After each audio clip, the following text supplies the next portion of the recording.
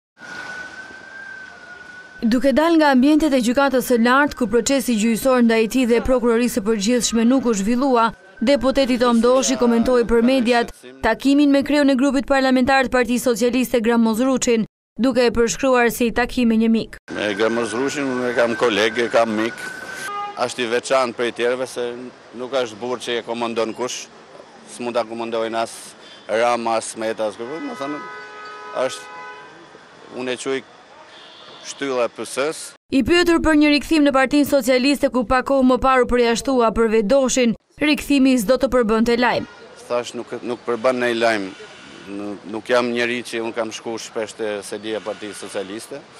Thashë unë përfaqësoj elektoratin tim që më kanë votu. Doshi u paraqit këtë të mërkurë në Gjykatën e Lartë ku në orën dymbëdhjetë ishte parashikuar procesi ndaj tij e Prokurorisë së Përgjithshme, e cila sipas Doshit, padrejtësisht nuk mori provat e kërkuara prej tij në hetimin për atentatin ndaj deputetit.